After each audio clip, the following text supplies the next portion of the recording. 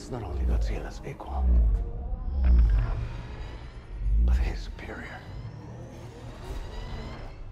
The apex titan of my own hand.